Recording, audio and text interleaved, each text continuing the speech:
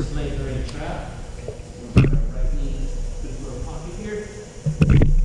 Pass. And then again, guys, I establish position here. You notice I still got the arm trap. Right, so this is another three points. Stay here again, another three points. I can go to cover. Okay, so that's the reason why when I go for a sit-up guard sweep, I fits up every position. I can rack up like six, nine points. Okay? Again.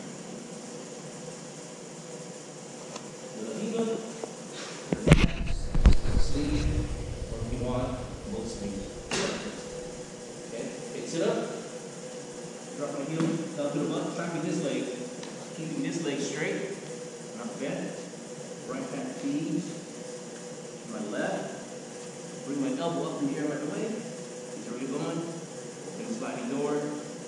Heels to my butt. Drive forehead to the rib. Here. Little wheel taps. One, two, three. Lock. Got side control. One, two, three. And so. Guys got it? Basic simple, yeah? Let's try this. One, two.